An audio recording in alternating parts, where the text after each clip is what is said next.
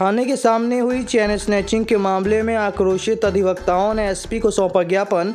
आपको बता दें कि रीवा शहर के सिविल लाइन थाने के ठीक सामने और पुलिस अधीक्षक कार्यालय से 100 मीटर दूर दिन दहाड़े हुई चैन स्नैचिंग की वारदात का चार दिन बाद भी खुलासा न हो पाने के चलते अधिवक्ताओं ने आज एसपी कार्यालय पहुंचकर एसपी से मुलाकात की, जहाँ आरोपियों को जल्द पकड़कर चैन बरामद करने के साथ वारदात का खुलासा करने की मांग की गई है।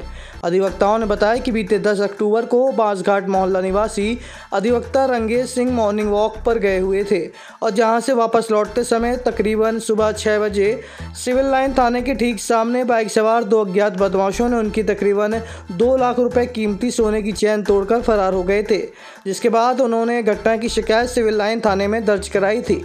अधिवक्ताओं ने कहा कि वारदात के चार दिन बाद भी पुलिस पूरी तरह खाली हाथ है, जिसके चलते पुलिस अधीक्षक कार्यालय विवेक सिंह से मिलकर वारदात का खुलासा जल्द करने की मांग की गई है। उन्होंने कहा कि जब अधिवक्ताएँ ही नहीं सुरक्षित हैं तो महिलाएँ कैसे सुरक्षित होंगी? एस पी साहब से मिले हैं और ये वकील साहब रंगेश सिंह हैं हमारे साथ काम करते हैं। इनका 10 तारीख को यहीं पे सिविल लाइन थाना के सामने मॉर्निंग वॉक करते हुए इनका चैन स्नेचिंग हुआ था जिसके लिए इन्होंने रिपोर्ट भी करी है। उसी के तारतम्य में हम लोग एस पी साहब से मिलने आए थे कि उसमें त्वरित कुछ कार्रवाई की जाए। इसके लिए हम लोगों ने ज्ञापन दिया।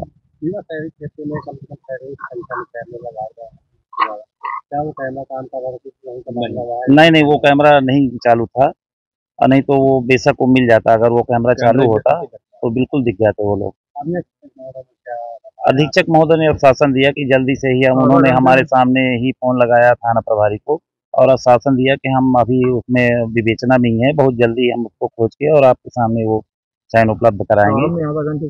हाँ उन्होंने ये भी कहा कि यूपी एमपी जितनी भी टीम है सबको हमारे सामने उन्होंने फ़ोन भी लगाया और आश्वासन दिया कि जल्दी हम चैन स्ट्रेचर को पकड़ के कार्रवाई करेंगे। वो यहाँ से ढेकहा साइड से गए थे।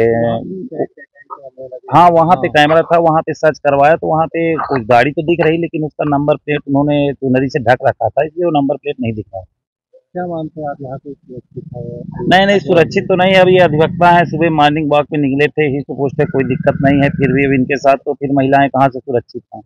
संबंधित क्या आश्वासन दिया उनका तो कोई आश्वासन नहीं उन्होंने रिपोर्ट दर्ज कर ली अब ठीक है एक आश्वासन उन्होंने पुलिस रहते हुए किया कि ठीक है हम इसमें विवेचना करें ढूंढे लेकिन अभी एस पी साहब ने हम लोग मिले हैं तो उन्होंने आश्वासन दिया है कि इसमें हम उचित कार्रवाई करेंगे। क्या करेंगे? पाँच दिन है अब उम्मीद है कि शायद कुछ करें अभी एसपी साहब से हम लोगों ने मिल के और ये ज्ञापन दे के हम लोग आए हैं। तो उम्मीद करते हैं कि एसपी साहब कुछ इसमें कार्रवाई करेंगे। चाह लेंगे तो मिल जाएगा। हाँ अगर उन्होंने चाह चाह लिया तो कोई दिक्कत नहीं है मिलने में। कोई भी मुकदमा सॉल्व कर सकती है